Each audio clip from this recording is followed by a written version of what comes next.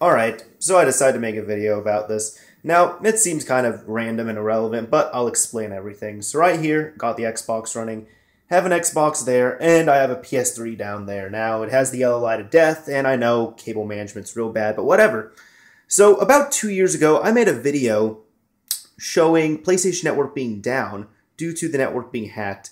And the reason why I'm mentioning this is because it's one of the videos I have on my channel that has the highest amount of views and it still gets attention to this day, two years later. People are on there. Uh, first off, there's a lot of people that think I just need to reset my router, but they don't look at the date and see what happened.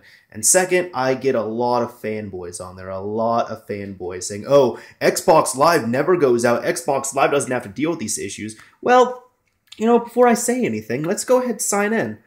So, first off, actually, before I do this, I'll go ahead show you all everything.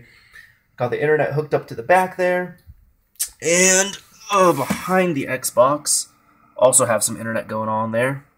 Uh, blue Ethernet cable right there. Let's go ahead and sign in. So, main account, Mr. Mario 2011. We're signing in, we're signing in, we're signing in. And can't connect to Xbox Live. Now, some sometimes, you know, this might happen if there's something wrong with your connection. But I am currently downloading stuff on my computer, so, which is on the same type of network over there. So it definitely can't be that. But other people are saying they couldn't sign in worldwide. So let's go ahead come over here. What is this? We are on, let's see, the forums on Xbox.com.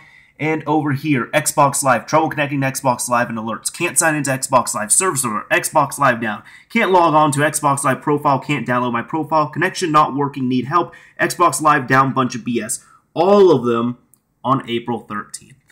So, Xbox Live doesn't go down, huh? The only thing I can say to this is don't be such a fanboy. Don't be such a fanboy. Come on.